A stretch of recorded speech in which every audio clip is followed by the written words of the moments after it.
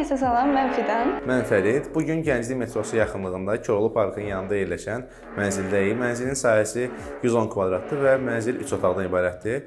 Biz artıq mənzilin təmirini təhvil vermişik e, sifarişçiyə və hazırda mənzildə yaşayış var. E, amma yan qonşu təmir etdiyinə görə biraz ola bilər ki, videoda əlavə səslər olsun. Mənzilimiz modern üslubdadır, amma biz ona neoklassik elementlər olan e, lepkalar da əlavə eləmişik ki, daha biraz e, lüks görüntü olsun mənzildə. İlk öncə başlamaq istəyirəm mənzilin girişindən. Girişdə sağda güzgü, boy güzgüsü yerləşdirmişik. Solda isə qarderob yerləşdirdik. Divarda sədəf boyadan istifadə etmişik və divara vurduğumuz lepkanın üzərindən də sədəf boya ilə gedildi. Bu hissəsinin haqqında biraz mən danışmaq istəyirəm. Bura dəhlizlə zal arasında olan hissədir. Bura əslində biz bir qapı yerləşdirməyi düşünsəydi, amma sonradan biz bu qərarımızı dəyişdik ki, həm pəncərədən gələn təbii işıq biraz daha dəhlizə keçsin, həm də ki, bir zalın bir geniş bir görüntüsü olsun deyə biz bu hissəyə qapı yerləşdirmədik. Zalda sədəf boyadan istifadə edərək hol ilə tamamlanması üçün şərait yaratdıq. Sol tərəfdə isə divar boyu yığılmış şkaf görürsünüz. Bu eyni ilə dizayndakı kimi yığılmışdır. Burada isə mənzilin yemək masası yerləşirdi. O hələ tam hazır olmadığı üçün hazırda biz onu yerləşdirə bilməmişik burada. Amma üzərindəki lüstru montaj eləmişik. Bu otaqda iki lüstr istifadə eləmişik biz. Biri stolun üzərində, digəri isə divanın üzərində yerləşdirmişik. Twistdən də hazır olmadığı üçün hələ e, mənzildə bəzi tamamlanma işləri görülür deyə o da yerində deyil, amma Twistendin arxasında olan divarı biz e, sədəf boyadan fərqli olaraq bir dekorativ boya ilə tamamlamışıq. Bu dekorativ boya da düşünürəm ki, Twistendi daha biraz fərqləndirib digər divarlardan və mənzilin ümumi aurasına daha yaxın olub.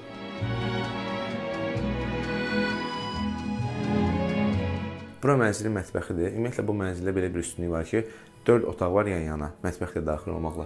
Və bu otaqların hər birinin qarşısında bir balkon var və bu balkondan şəhərin elə bir mənzərəsi yaranır ki, adam baxmaqdan doymur. İndi isə keçək mətbəx haqqında biraz məlumat verəm mən sizə.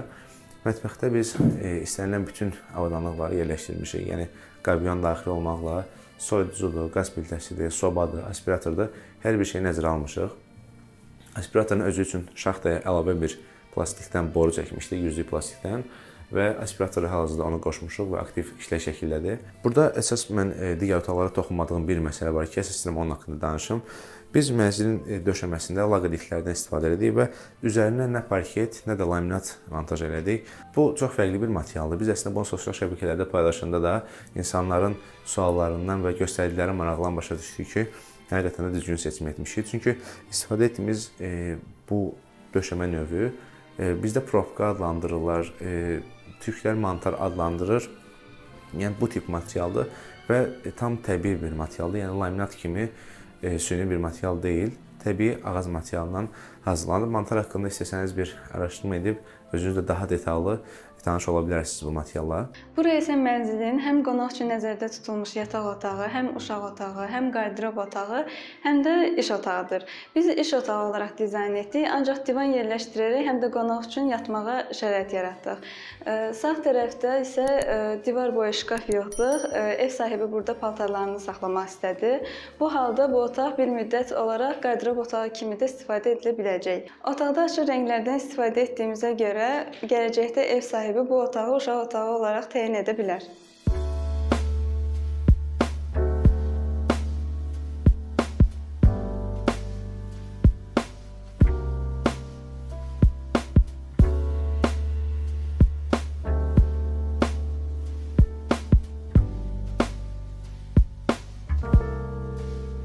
Bura mənzilin yataq otağıdır. Bu divarda belə bir lepka istifadə eləmişik. Bunlar iki qat lepkalardır, digər otaqlardan fərqli olaraq. Bunun biri dördlük, digəri isə 2 yarımlıq lepkadır. Elə istəyirəm buradan başlayaq. Sol tərəfdə yataq otağının özünə məxsus bir sanitar qovşağı var. İndi onun haqqında da danışacağam. Amma indi hal-hazırda istəyirəm yataq və yataq arxası bu divarlarla bağlı biraz e, sizə məlumat verim. E, biz bu divarı Instagram səhifəmizdə, sosial şəbəkələrdə paylaşmışdıq və bir çox insanın marağına səbəb olmuşdu. Sırf e, bu rəng Və bu rəngi biz e, seçmədə əsas məqsədimiz o oldu ki, divarlarımız bej rəngdə olduğuna görə elə bejin biraz daha fərqli tonu, yəni yaşılın bejlə qarışığı olan e, bu tonu biz burada istifadə etmişik ki, həm bir-birinə uyumlu olsun, həm də ki, e, neytral ton, sakit ton olduğuna görə yataq otağına uyğundur. Bundan əlavə biz bura bir dolab yerləşdirmişik. Mənzilin ümumi planlamasında bu sanitar qovşaq biraz daha enli idi. Yəni bu yataq otağının ümumi belə ölçüsü bu qədər deyildi. Biz e, sanitar qovşağın divarın e, bir hissəsini kəsərək onu arxaya çəkdik, yəni kiçiltdik biraz sanitar qovşağın sayəsini və bu sayədə yataq otağının biraz daha belə geniş olmasını təmin edə bildik və bu 60 sm qədər biz hansı ki kəsmişdik sanitar qovşaqdan, o hissəyə biz dolabı yerləşdirmişik ki, burada da siz dolabı görə bilirsiniz rahatlıqla. Yataq otağı da digər otaqlar kimi həm e, spotlar, həm də lüstr vasitəsilə işıqlanır.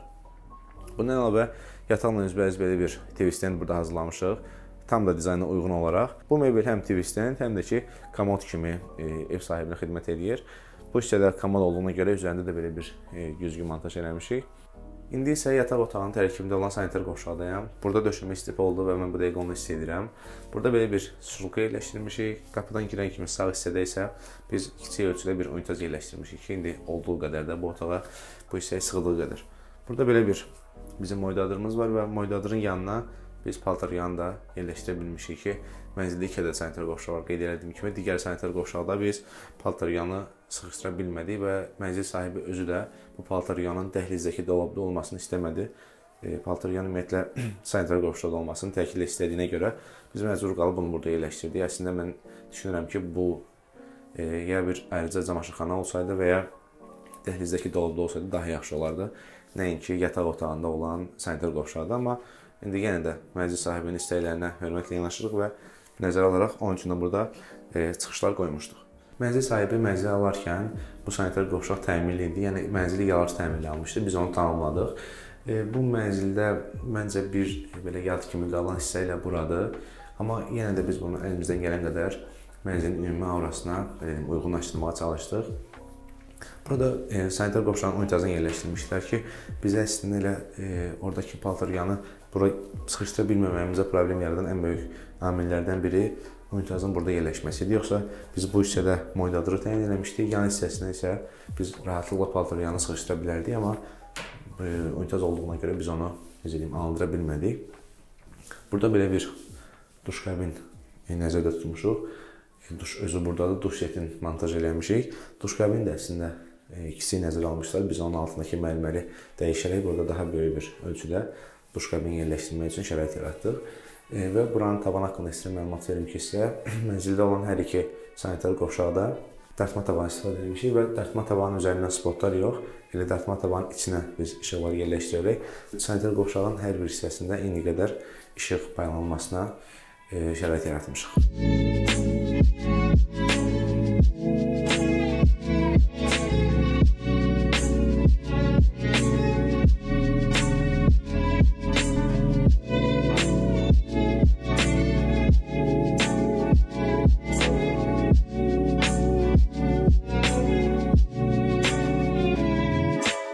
Daha bir təhlil videomuzun sonuna gəldik. Düşünürəm ki, mənzil hər birinizin xoşunuza gəldi. Bu günlük bizdən bu qədər. Gələn videolarda görüşəndək. Hələlik.